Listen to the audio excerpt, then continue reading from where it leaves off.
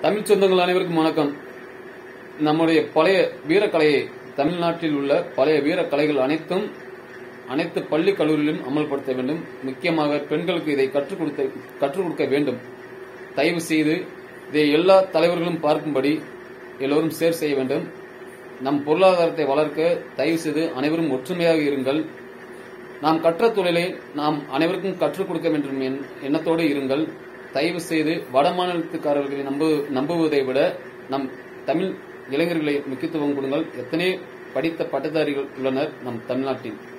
தயவு செய்து எல்லா தலைவரும் ஒன்று கூடி என் தமிழ் பொருளாதாரம் என் தமிழ் இளைஞர்களுக்கு வேலைவாய்ப்பு அனைத்தும் அமல்படுத்த வேண்டும். ஒற்றுமையாக இருக்கும் நம் தமிழ் இனமே ஜாதி மதம் வேண்டாம் எந்த ஒரு ஜாதி தலைவர்களையும் நாம் குறை சொல்லவும் வேண்டாம்.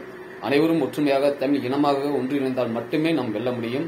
எத்தனையோ வீடியோவுக்கு ஷேர் பண்றீங்க லைக் பண்றீங்க தயவு செய்து நம் தமிழ் இனத்துக்காகவும் தமிழ் வரலாறை பற்றியும் வீடியோ எடுத்து ஷேர் பண்ணுங்கள். ஃபேஸ்புக்கில் போடுங்கள் யூடியூப்பில் போடுங்கள்.